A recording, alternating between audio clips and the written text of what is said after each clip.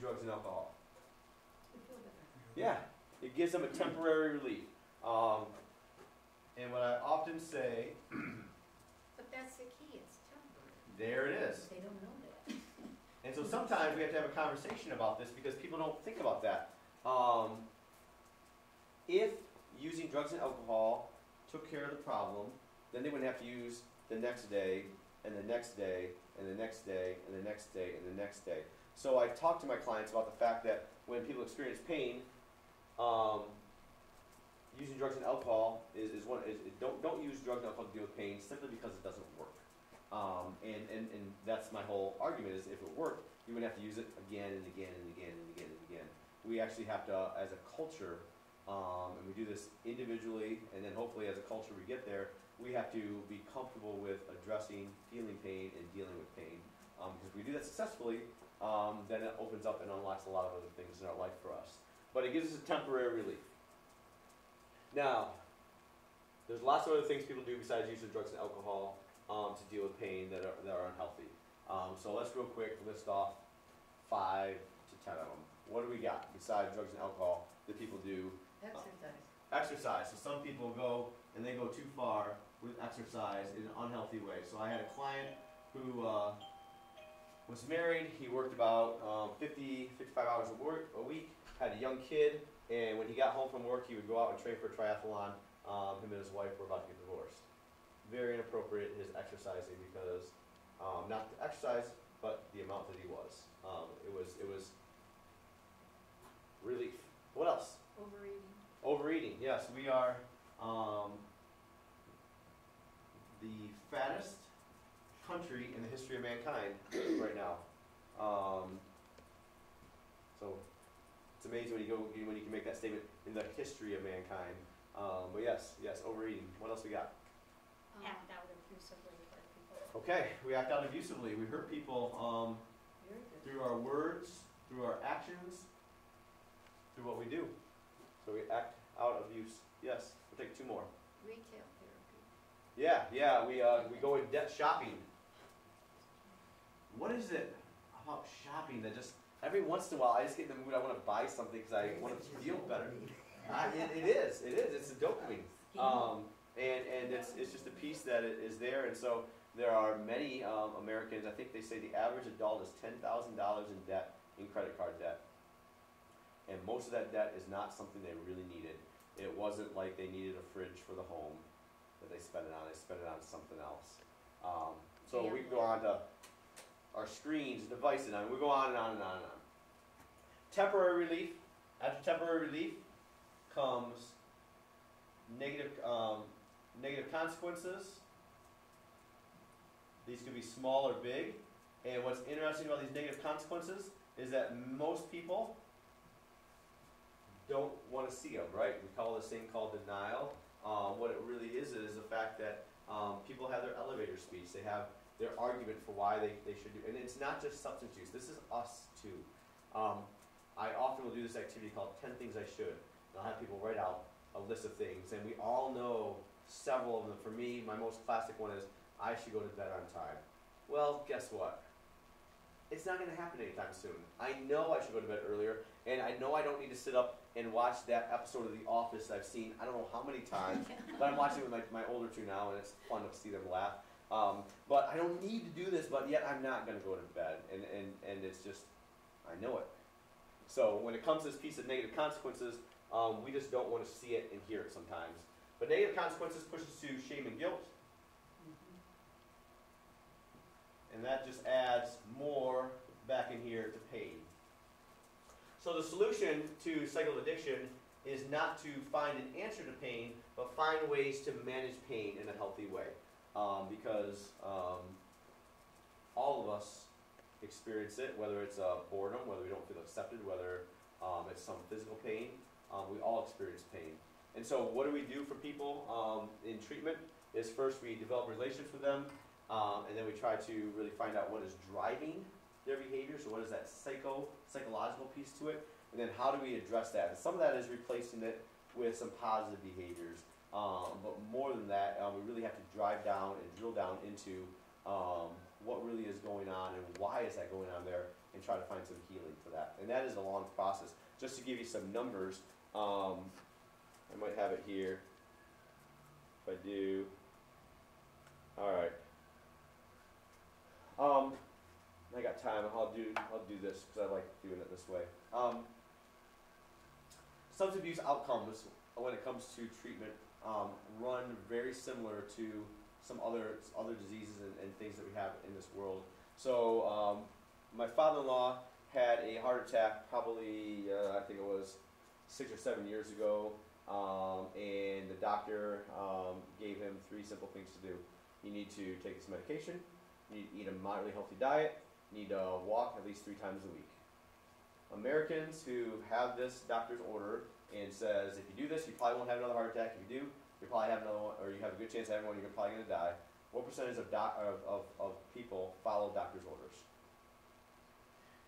I do. You do. All right. Are you the norm? Probably not. You are not. I'd say probably one or two out of ten. Okay, yeah, it's a, it's a, a little bit higher. It's thirty to thirty-five percent. Um, so um, still, most of them don't. Um, diabetes. So uh, I'll tell you my diabetes story. I was a I was a medic in the army and doing the reserves, and they were trying to get me to be a nurse because they needed nurses. And so um, I was doing my reserve time in, when I was going to college in uh, Kent County, and uh, they took a one-year LPN. They took all my medic training. They took a one-year LPN piece and they put them together and I had two and a half years of going one weekend a month, two weeks in the summer for reserve to become an LPN.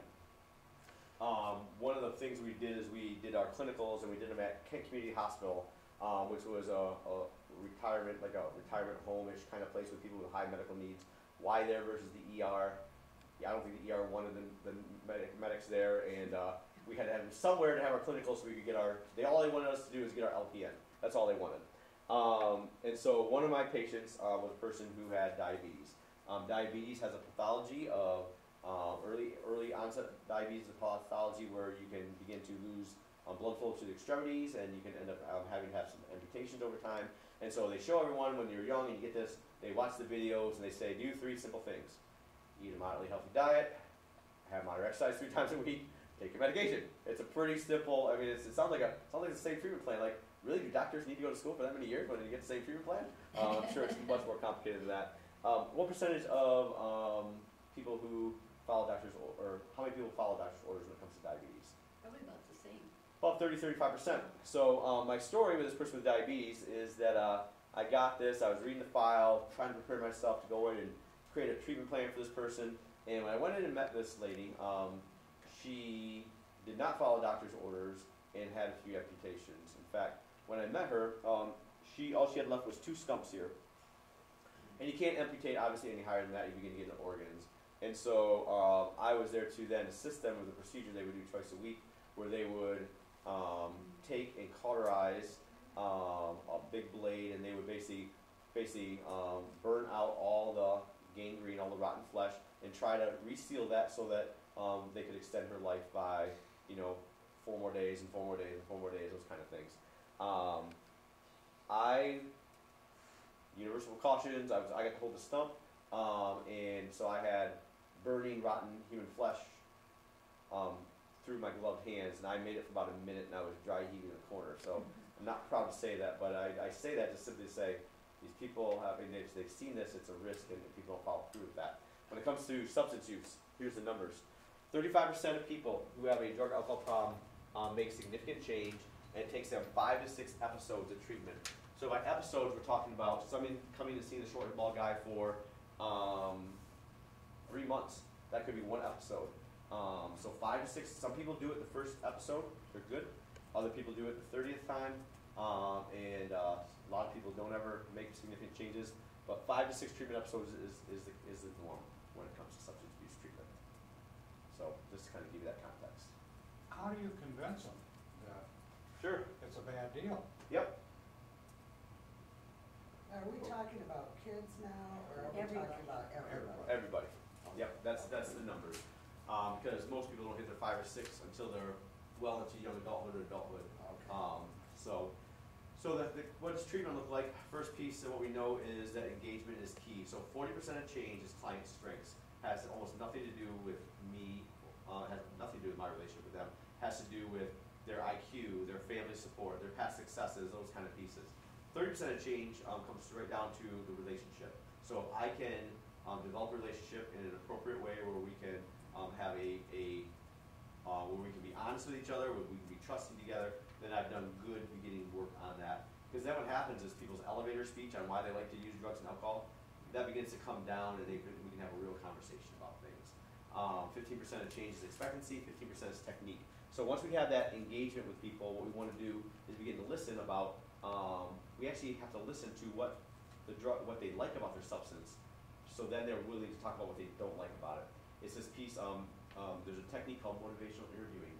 And what it shows, and, and, and, uh, um, the research shows that if there's two people, um, who have a difference of opinion, and they have a little disagreement argument, at the end of the disagreement, they're each more convinced they're right.